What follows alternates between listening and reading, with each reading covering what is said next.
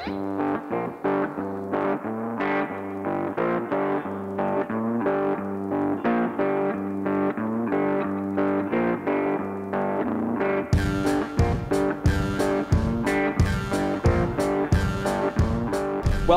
Today we're standing in Trout's Fly Fishing, and today we're going to be talking about building a caddis box. For people who haven't ever built out the uh, life cycle box for this hatch, this will be a great video for you to learn about the whole life cycle and the flies that imitate them. Standing next to me is Ivan Orsic. He does all of the marketing here at Trout's, and they do this awesome series called Five Flies. And so we're going to take that same theme, and we're going to talk about the five different flies you need for each of the life cycles of the caddis. Let's do it. It's going to be great. Yeah.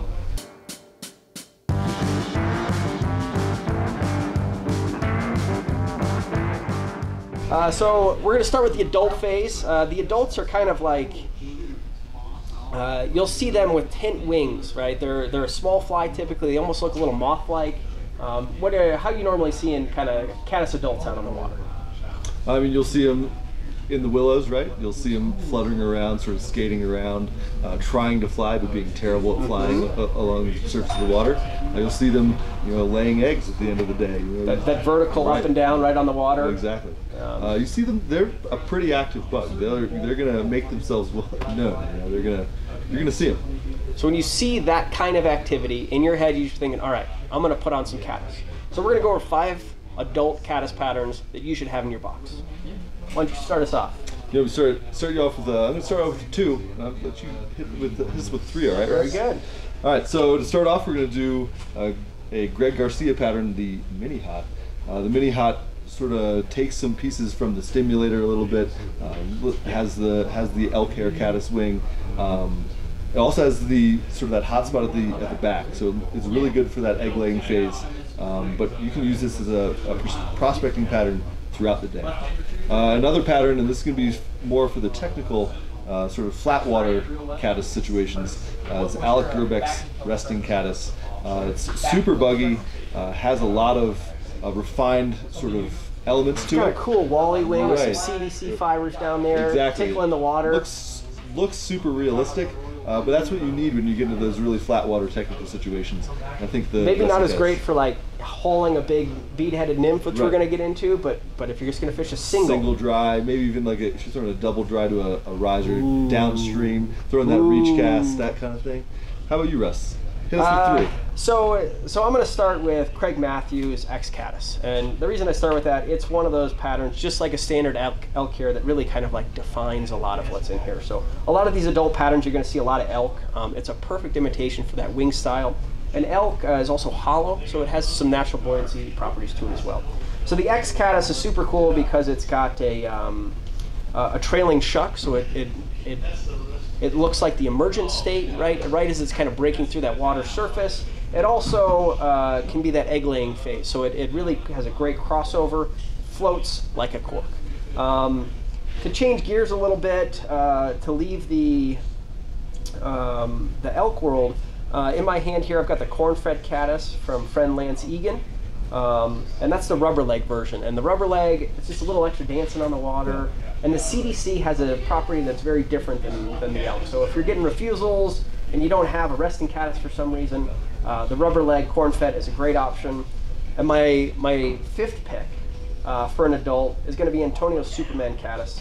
And the reason I like the Superman here is this bright orange hotspot. So a lot of the creek fishing we do, which has a ton of caddis all summer long, right? It can be tough to see something. I'm not as young as I was. Right.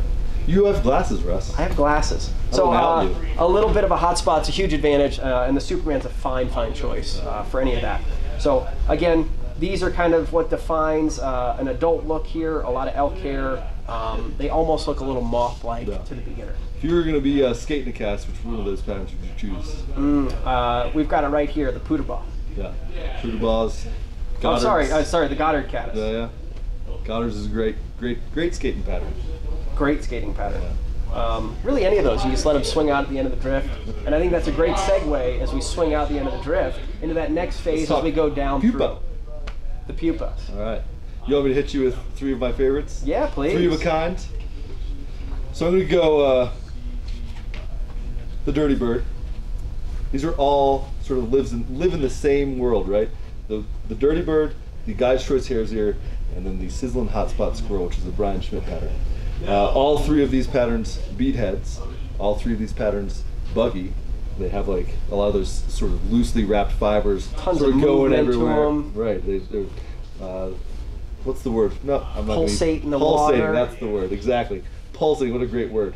Uh, they all, they all have that soft tackle. They all have that extra movement. It, I mean, the guy's first hazer is the reason they call that. It's like uh, This is the moneymaker for the guys. Hey man, like other things aren't working. I'm gonna put the guide choice on. It's a confidence fly, and that's what I like out of a good pupa pattern is a confidence fly. So you can fish these in a variety of ways. Uh, you can fish them underneath a hopper dropper.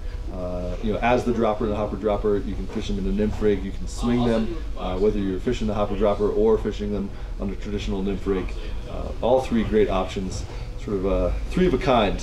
In, in kind of the many beauty of your three of a kind, in my opinion, too, is like your drift doesn't have to be perfect Right. to still have a perfect drift. which is what I like. Totally. I need all the help I can get. Doesn't have to be a perfect dead drift. There can be motion. These are good yeah. swimmers in the waters Exactly. in, in that pupa phase. As they sort of rise through the column, you can you can get get those triggered bites. Mm-hmm. So, how about you, Russ? Well, I'll kind of change gears a little bit, and um, this is Mercer's Jiggy Caddis Pupa, and this is really a modern version of Gary LaFontaine's uh, Sparkle uh. Pupa. And LaFontaine's is, is a staple in every box, you gotta have it. If you're looking for the modern version, this is a wide gap jig. Uh, Umpqua's 450. And uh, tungsten bead, right? So you get all those great properties of a jig with that classic imitation uh, of those caddis. Uh, another choice that I'd make here, um, you know, I, I think uh, Garrison Doctor Sweet Meat Caddis, just to stay on that same uh, train of a great jigged fly um, with a lot of movement that you can kind of swing out, and it's it's a good crossover pattern uh, as we go one step deeper into larva. So those are five um, pupa patterns for caddis. Now we're going to move into the next five for larvas. Before we before we move on, I just want to give a little shout out to jig flies. The great is uh, great as a dropper and a hop dropper. They get down quick, hook point up, hook they hook the fish in the right spot. It's easy to, easier to fight the fish. You Got a lot of control when you a- get them at the top of the mouth. I, I will admit I may have uh, shied away from jig flies in the past, but jig flies work. Embrace them. They're They not put- just for the Euro Not rigs. just for Euro rigs, right? Yeah. You can find other uses for them, and I think the Sweetwater cast is a great, uh, great option for that. sort of stuff. Absolutely, yeah. Uh, you got to have a couple jig flies in your box. Let's get to larva. So larva, right? If you ever go down and you pick a stick off the bottom, maybe you're retrieving a snag, which happens a lot, um, and uh, you have there's there's all these little little textured, almost look like mini sticks on the stick, right? What are those? Cases. Case caddis. Filled with caddis. Uh, the bread crust is probably one of the best uh, case caddis imitations, but they, they, they create a little case around the larva Yeah. uh, as they kind of get bigger, and then eventually they, they, they start to rise up through the column towards the They also get phase. like knocked knocked free, right? They can Absolutely. get knocked out of their case, Anglers wading Sort through the water. sort of fluttering around. Mm-hmm. Yeah. Uh, so what do you like for, for that phase, that larva phase? Uh, so I'm going to throw out a little little love to a local tire, uh, Shea Gunkel with his splat roller. Uh, so it's obviously designed for the South Platte, but it works on the Arkansas, it works in the Colorado, it works on a variety of waters, right? Uh, so it has that trademark green, sort of almost chartreuse, tr- chartreuse-ish. Is that a word? Char- Chartreuse-ish. Chartreuse-ish uh, coloration, and then it has the black head. Uh, you have the, you know, Because when you pull one of those little larvae out of the case, what do they look like? they're, they're green. They're The chartreuse green with a black little head. black head, right. Uh, so that's a great option. Uh, you can also throw a Barr's uncased caddis uh, in that it has the same uh, same sort of coloration. Uh, has it's a little bit more it's a duller green than you'd see with that uh, splat Mm-hmm. roller, uh, but it's good to have a, a, a wide variety of that kind of stuff. And then it has uh, the little uh, little tufts, little tiny little leg tufts uh, that do a great job of imitating that stuff. And then finally, uh, the buckskin caddis. Um, it's a classic. It's under, understated in its coloration, so it doesn't have the green, uh, but it certainly produces, uh, especially on the South Platte. I love And- that Platte stuff. Pat Dorsey, South Platte legend, wrote the book on it. Right. Literally. I mean, uh, if you look in his boxes, there are literally rows of buckskin, and it really plays into what you just said with like it's it's a little bit more muted, so you can come behind other anglers and potentially find some fish uh, where, where something a little bit brighter and flashier may continue to make them hesitant. Uh, And there are certain eat. things that, that Pat does that I cannot do. Like drift uh, drift wildly flat water and catch fish uh, on the first cast. But I Jedi- can fish flies. That, master. Yeah, I can fish flies that he likes to fish, and they produce. They, they produce. So uh, it's a good fly to have in the box. What about you? So a couple Um, patterns out there for us, Russ. I'm going to start with something that uh, maybe isn't as traditional, uh, but works really well. Um, is uh, this is the mini mop uh, from Umpqua here, Hydropsyches. Um, and uh, it's a wonderful imitation, but the other thing it does really well, it's on a jig hook with a tungsten bead, so it fishes dry dropper. But what it really does, a mop in general, like we talked about this in one of the fly flies in January, it'll slow down your whole rig uh, so you can get those deeper water presentations really, really well. And so uh, the mini mop's a great one. You can go giant mop if you feel like you need a little extra confidence there and you want to feed them the double double Good, cheese. he's good at seeing. See where your rig is with that one. You can see everything. And then my last choice, uh, just because Pat really is such a uh, tailwater junkie, he's got the uh, the Merc caddis here, and it's a really great, you know, that that peaking caddis look where it's just got that little chartreuse coming out of its shell, and like, what's happening out here? And Right. as soon as they poke their head out, Yeah.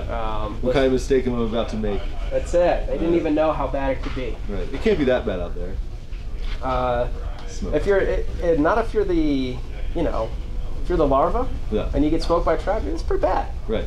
But that's what we want as anglers. So Right. like it's pretty good. Right. Exactly. So that's uh, that's 15 flies, right? That are kind of like must-have in Yeah. putting together a caddis box. And so the hope is when you're out on the water, you know, and you're seining or you're kind of rolling some rocks over, you can kind of see some of this different stuff happening, and you know you've got five confidence flies you can put on for each of these life cycles. For sure. Yeah. So I, I, mean, caddis is a great option uh, when you're seeing caddis activity, but it's also a great option if you're prospecting. If you're looking, if you're sort of in a period of time when you're not seeing a ton of uh, hatches coming up, And not it's a ton summer of bugs, and it's summer. warm and you're wet waiting. Right. Throw some caddis on. Throw a caddis dry on. You can throw like a double dry. You can throw caddis dry, like a caddis dry with a dropper below it. You can mix and match a lot of the stuff that you'll have in this box. So you might not necessarily be matching a specific thing that you're seeing on the water, but it's a great prospecting uh, bug. So Check out our Fun. video on dry dropper rigging, Yeah. which will explain how to put together those rigs uh, for those kind of summer celebrations of why we go pick up fly rods and chase trout. Yeah, for sure. Um, Appreciate you guys coming down, Russ. this was awesome to be here. We're literally surrounded by flies. Uh, We're in Russ's happy place. yeah, come check out the awesome selection of trouts, um, and definitely make sure your boxes are stocked with caddis for the summer months. And good luck out on the water. Yeah. And because this is YouTube, we have to say don't forget to like and subscribe. Like and subscribe, and Yeah. check out Trouts Fly Fishing Fly Flies. They are awesome, uh, super fun. These The guys, ones that have rust in it are the best. check it out. Uh, and thanks for tuning in, guys.